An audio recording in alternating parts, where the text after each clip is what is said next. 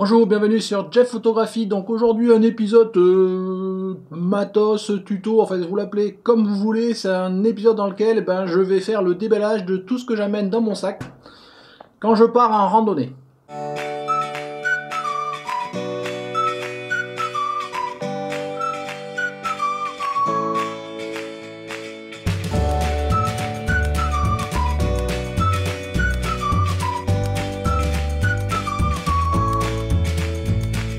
Avant de démarrer vraiment la partie présentation de mon matériel et du contenu de mon sac, je voulais d'abord vous rappeler le concours qui court jusque fin juin. Mais bon, ça fait maintenant à peu près 15 jours que je l'ai lancé et j'ai très peu de participants, je crois que je dois en avoir que 6.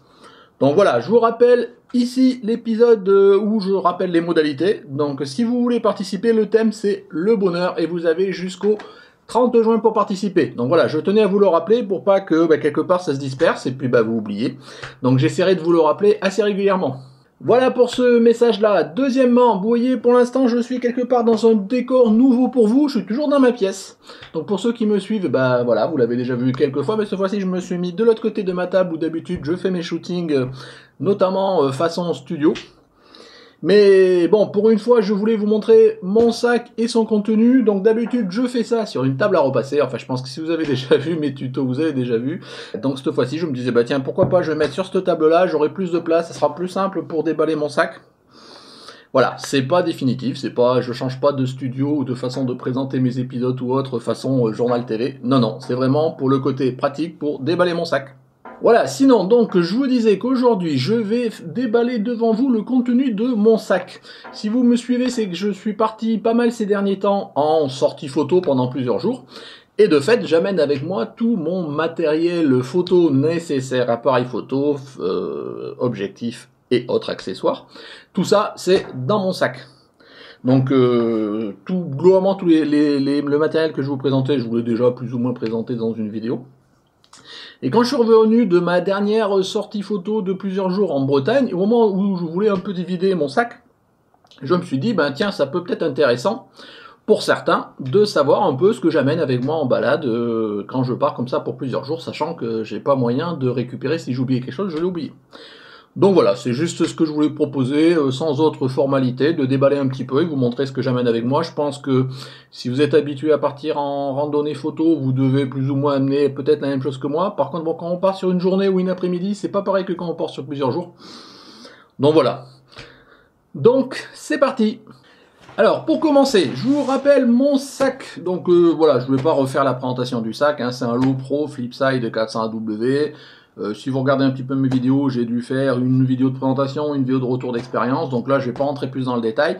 Par contre, on va commencer à regarder euh, ce que je amène euh, dans mon sac. Donc déjà, sur l'extérieur, vous pouvez voir que j'ai mon trépied.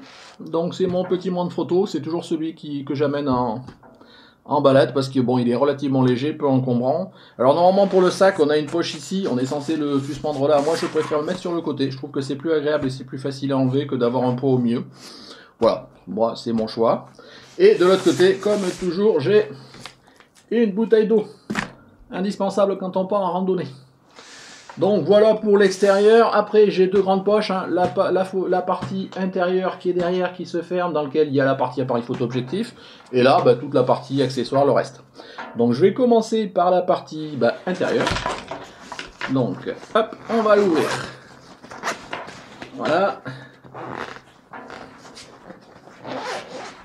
Alors, ce qu'on va retrouver dans mon sac. Bah déjà, normalement, j'ai mon appareil photo, mais il est là, il est en train de me filmer, hein, donc c'est mon 70D, et dessus, il y a toujours monté en standard mon 1750 de Sigma. Donc là, il est en train de me filmer, il a toujours sa place ici. Là, donc c'est vraiment, vous voyez, ce que j'avais quand je suis parti en Bretagne. Donc derrière, j'ai toujours, surtout quand je pars en, voyage comme ça, j'ai mon 70-300. Donc ça, c'est indispensable quand vous partez en randonnée pour pouvoir faire des photos de loin, les animaux, ce genre de choses. Généralement, c'est avec ça que je shoot. Pour moi, c'est indispensable. Donc voilà. En termes d'objectifs, c'est tout ce que j'amène. Donc je vous rappelle, mon 1750, donc de 8, et mon 70-300 de Tamron, c'est tout ce que j'amène. J'amène pas autre chose. D'abord, j'en ai pas beaucoup d'autres. Mais même les autres que j'ai, ça sert à rien que je me charge. Globalement, avec ça, je remplis euh, tout ce que j'ai besoin euh, en termes de reportage, globalement photo, balade. Pour moi, ça remplit complètement mes besoins. Ce que je vais trouver aussi dans ce sac, dans ce compartiment-là, c'est ici une petite poche avec mes filtres. Alors les filtres essentiellement sur mon 1750, parce que sur mon Tamron, j'ai en permanence le polarisant qui est dessus.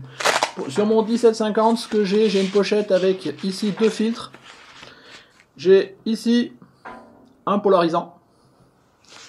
Et ici, hop, on va le faire vite fait. Un filtre ND1000, donc pour les poses longues. Bon voilà, c'est tout ce que j'ai en filtre. Bah, j'avais pas beaucoup besoin de plus pour l'instant. En tous les cas, j'ai pas eu besoin. Donc ça, c'est ici.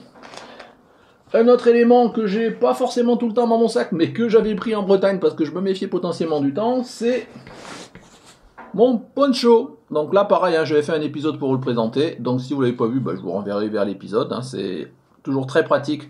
Quand il pleut, vous pouvez mettre ça par-dessus vous et dessous votre sac à dos, tout en gardant l'appareil photo à portée.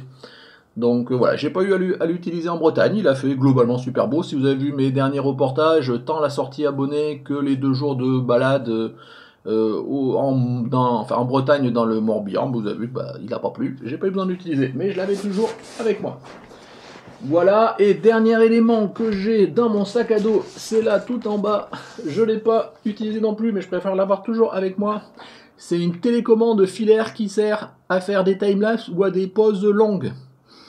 Donc voilà, hein, je vous avais pareil fait un tuto là-dessus. Par contre, je l'amène toujours, ça peut être toujours utile quand on veut faire des pauses longues. Alors jusqu'à 30 secondes, ça va parce que l'appareil gère. Mais derrière, si on veut faire des pauses au-delà de 30 secondes, ça c'est indispensable. Et éventuellement des timelapses. Donc voilà, donc je l'ai toujours avec moi, elle est là. Voilà, et de ce côté-là, bah écoutez, j'ai rien d'autre. Donc en fait, j'ai pas mal de place encore libre. Je pourrais bien mettre euh, deux objectifs faciles. Voilà, après c'est un choix. Moi pour l'instant, je préfère voyager, euh, je vais pas dire léger, mais pas trop lourd. Donc voilà pour ce côté, donc vous voyez rien de, très exceptionnel. On va fermer ça. Hop, sur la poche de devant maintenant. Qu'est-ce que j'ai? Alors là j'ai tout un tas de brins. Alors d'une part j'ai ce que certains appellent mon pistolet. C'est-à-dire c'est ma mini caméra avec, avec laquelle je filme tous mes reportages. Donc cette mini caméra, elle est sur un petit trépied photo là. Hop. Voilà, donc généralement je la tiens à la main, mais bon, je peux la poser avec le trépied. C'est toujours ça. Donc voilà, mini caméra pour les reportages. Ce que j'ai pour l'été, indispensable, ma casquette. Hop. Voilà, alors là, typiquement, dès qu'il fait beau, indispensable. Ou sinon, je choupe des coups de soleil. Dans le même ordre d'idée, les lunettes de soleil. Donc voilà, hein, donc ça, euh, poncho, casquette, lunettes de soleil. J'avais tout ça en Bretagne. Poncho pas utilisé, casquette, lunettes de soleil, je les ai utilisés. Parce que heureusement, il faisait pas mauvais. Donc voilà, qu'est-ce que j'ai encore? Alors je pourrais souvent avoir soit un casse-croûte, soit éventuellement un t-shirt, ce genre de choses. Là, j'en avais pas. Ce que j'ai encore, bon, j'ai un stylo, bon, rien de très spécial. J'ai l'équivalent d'un lens pen, là, vous savez, c'est pour nettoyer les objectifs. Donc d'un côté, j'ai la petite brosse. Et de l'autre côté, j'ai un petit tampon là qui permet de nettoyer les objectifs. Donc ça, j'ai toujours ça avec moi. Ça se, voilà, ça se clipse comme un stylo. Il y a un petit, euh, petite accroche là. J'ai toujours ça rangé là-dedans. Ce que j'ai aussi... Ah, j'ai oublié d'ailleurs quelque chose de l'autre côté. Mais bon, on y reviendra. Ce que j'ai dans une petite poche. Alors, j'ai ma télécommande sans fil infrarouge. Donc ça c'est toujours pareil, quand vous faites des pauses longues et que je n'utilise pas ma télécommande filaire, ça c'est indispensable, ça évite de faire trembler ce genre de choses. J'ai un petit chiffon euh, antistatique, un classique, je pense que vous en avez tous un avec vous. J'ai une batterie de rechange pour mon 70D et normalement, mais là je les ai enlevées parce qu'elles sont en train de charger, j'ai les batteries de rechange pour mon petit appareil qui me filme. Donc voilà, donc globalement, rien de très original. Et puis bah là, qu'est-ce que j'ai dit? J'avais fermé, j'ai tout fini. Voilà, bah écoutez, c'est tout. Vous voyez, il n'y a pas grand-chose. que j'ai aussi, ah si je ne l'ai pas dit, Ça, c'est l'attirail euh, indispensable, pas du photographe, mais du baroudeur. C'est un petit peu de doliprane, ce genre de choses. Si vous avez mal à la tête, avec un petit coup d'eau, ça sert toujours. Donc voilà. Ce que j'ai pas oublié de vous présenter sur l'intérieur, ce que j'ai qui est assez aussi indispensable. Alors, je l'ai oublié parce qu'il est sur la poche ici. C'est ici, j'ai toutes mes une carte SD de rechange,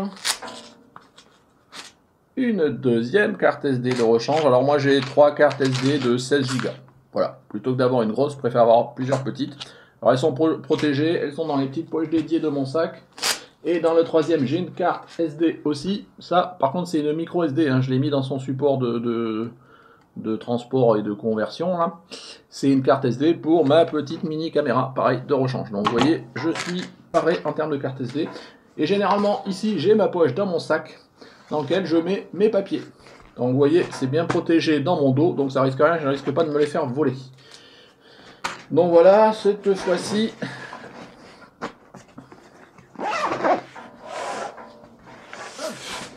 et le trépied, comme je vous disais, qui est là. Donc, vous voyez un certain nombre d'accessoires à se balader toujours avec soi quand on part en balade. Donc, je pense que si vous aussi vous partez en balade, vous devez plus ou moins amener la même chose que moi, peut-être plus, peut-être moins. Certains aiment voyager léger, voyager léger. Bon, quand on part, je vous dis, pour plusieurs jours, je préfère avoir plus ou moins l'indispensable avec moi. Maintenant, c'est pas la première fois que je le fais, je suis à peu près rodé. Donc je pense qu'avec tout ça, j'ai de quoi subvenir et de répondre à toutes les situations, que ce soit en termes de photos, que ce soit en termes de temps.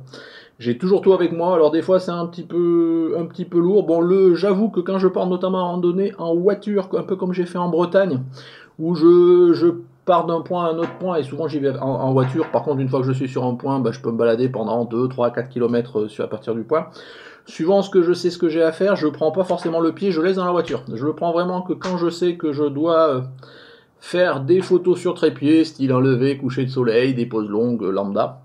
Donc voilà, donc je l'ai pas toujours avec moi, mais par contre quand je sais que je dois l'utiliser, je le prends. Donc euh, je voyage euh, assez complet, ni léger ni trop lourd, je pense que c'est moyen.